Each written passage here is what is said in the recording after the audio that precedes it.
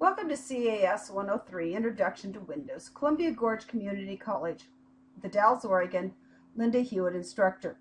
If you've used PowerPoint before, you probably really are not going to need to watch this video. This video is really focused for students that are not familiar with PowerPoint, maybe don't even have it on their computers. So we'll talk about it. If you already have PowerPoint and basically you reach one of these assignments that says you have PowerPoint, you're going to click on it. It's going to download. And if that doesn't work, you're going to right click, ask it to open it in a new tab, or ask it to save the link as, depending on what browser you're using. And you're going to open the PowerPoint. It's going to pull up in a second in PowerPoint. It's going to be ready to go, and it's very simple. Now, you have to have PowerPoint for it to do this. So you're going to have to enable editing.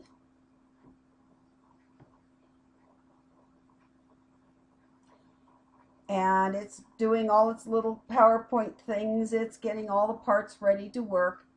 And when it has it ready, it will then move along.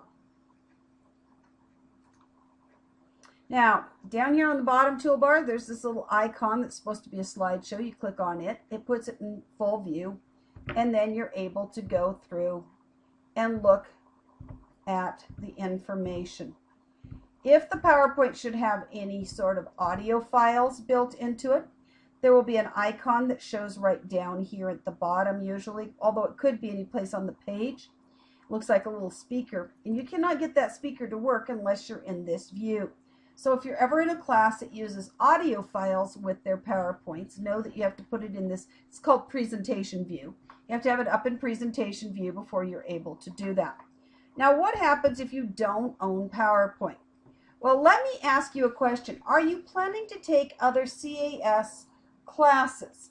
And if the answer is yes, this is like your first one early on, then you probably need to buy whatever the current PowerPoint office version is that's being sold.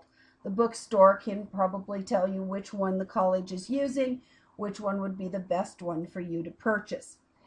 And often the bookstore has it at a more reasonable cost.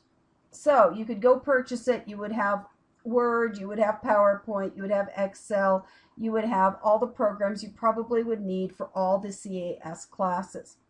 However, this is your only class, you're not planning to take other classes, or you really just can't afford to go ahead and invest in it at this point. You'll wait until you get there and really have to have it. Microsoft does offer a free viewer. A viewer means you can see what it is, but you cannot necess- you can't change it, you can't edit it, you can't create it. You will have to download it and install it on your computer to allow you to see those PowerPoints that are going to be used in class this term. So hopefully that will help you and you'll be able to get your PowerPoints to work that are provided for you to use.